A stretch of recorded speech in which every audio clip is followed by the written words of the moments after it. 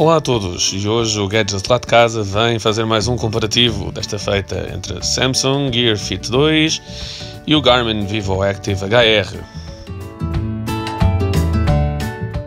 E se a primeira é uma pulseira de fitness não mais indicada para o grande entusiasta do desporto, mas para o utilizador do dia a dia que pretende ter as notificações e também algumas notas sobre os treinos que faz,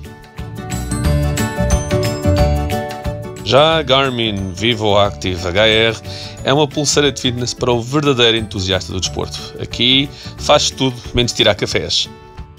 No fim, o que nos interessará saber será, ao fim e ao cabo, depois da comparação de vários itens em similar, qual delas terá o melhor comportamento e qual é que será a vencedora.